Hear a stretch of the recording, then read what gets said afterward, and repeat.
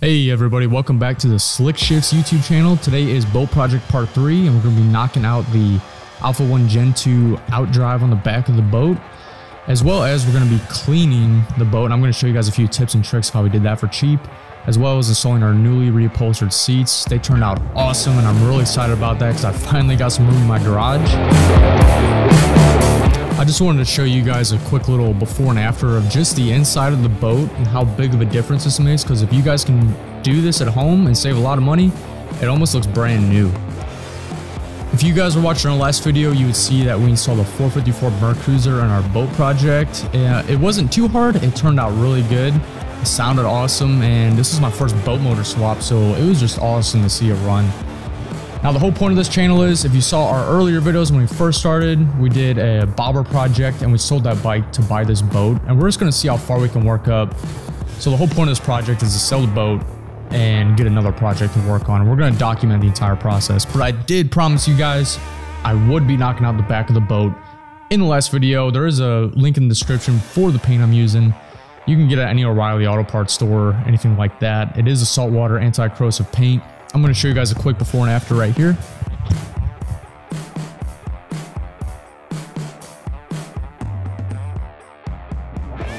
Now that the back of the boat's knocked out, we can finally focus on the outdrive. It is a Mercruiser Alpha 1 Gen 2 outdrive, and I'm finally, I'm just so excited to get this thing knocked out because it's been sitting on my garage floor for about three months. This project has taken a long time.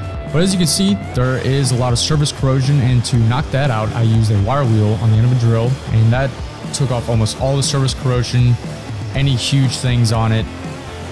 And as you can see right here, I didn't know what these were because I've never dealt with a boat before, but apparently it's barnacles and they came off really easily with the drill.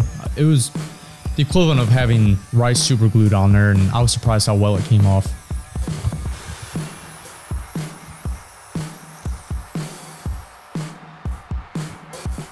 After I got the surface corrosion off, I went ahead and degreased it and I started throwing a few coats of paint on there. The paint went on really well, but if I were to do it again, here's my advice to you guys. I would use a primer sealer and then I would use this paint over it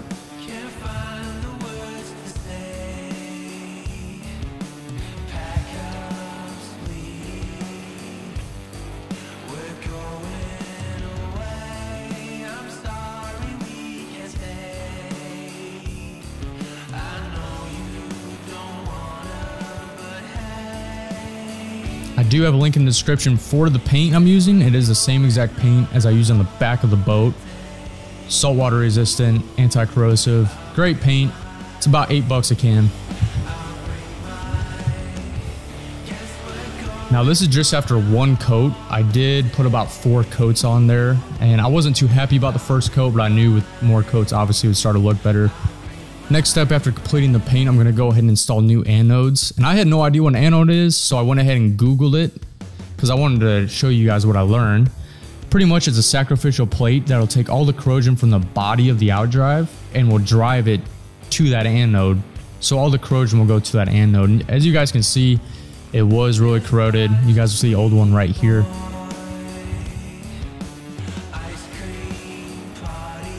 If you guys learned something from the video, go ahead and uh, give me a comment down below or give me a subscribe.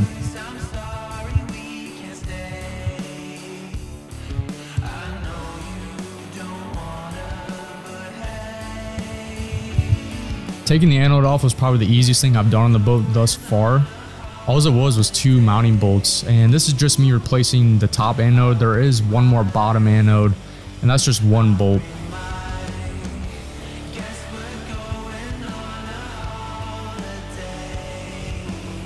If you guys want the same anode kit online, I am going to include a link down in the description.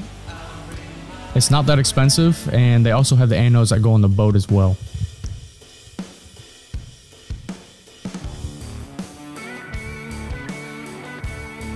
After the paint laid on and I got the anodes on for the boat, I went ahead and ordered these decals right here. There will be a link in the description for those as well. You can just slap those on and almost makes your outdrive look brand new. The difference it makes is just awesome. Here's a quick little before for you guys for the outdrive going on the boat and an after. After the outdrive was completed for the boat, I went ahead and slapped it on the boat and did a little ops check on it.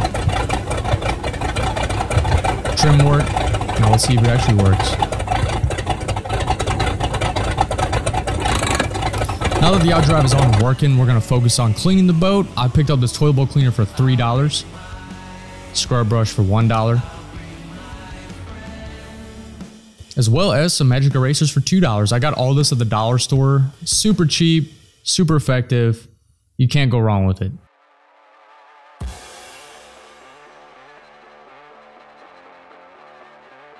The process is pretty simple. You're basically just going to take your toilet bowl cleaner, spray it on your boat, go ahead and scrub it. And it's going to be very tedious. And I do not recommend wearing a shirt you like because the bleach will get on the shirt and it will ruin your shirt.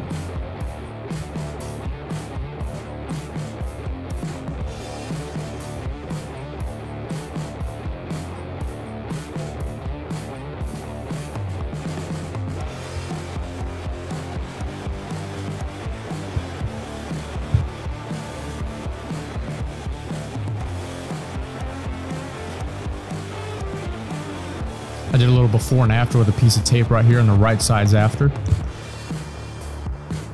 You guys can just see how nasty this bow was and what a difference it made.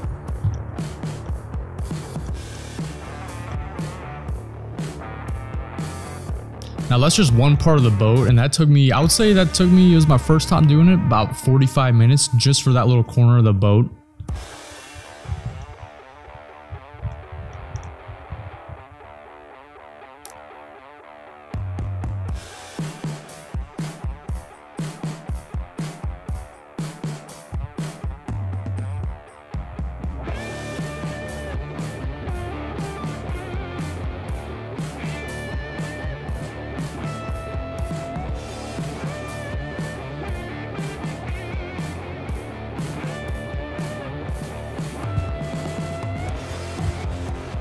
I'm going to show you guys a quick before and after while I'm scrubbing the engine hatch. Now the process here is super simple. Like I said, spray the toilet bowl cleaner on there, scrub it around, let the bleach work, let the chemicals work. It's as simple as spray, scrub, rinse, repeat. And after you're done with all that, you're just going to take your magic eraser and any little spots you missed or spots that didn't come off, take that magic eraser, scrub it, and it should come off.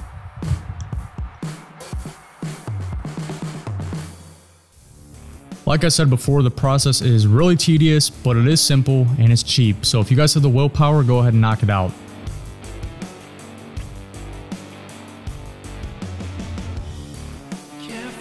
Now that we got all the junk and grease cleaned up out of the boat, it's finally time to install the new seats in the boat.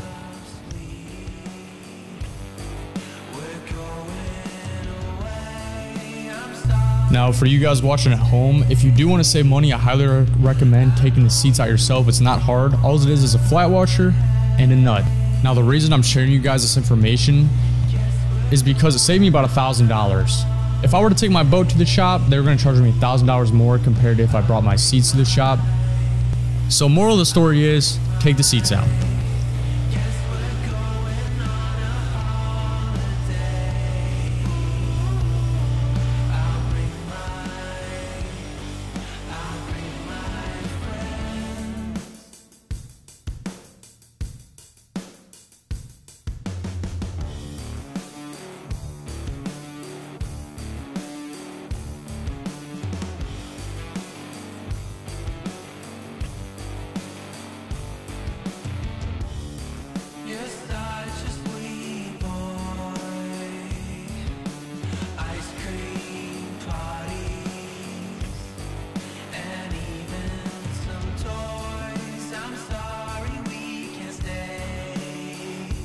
Thanks for watching Boat Project Part 3. I hope you guys got something out of the video. If you did, give us a thumbs up. Let us know in the comments below what you learned.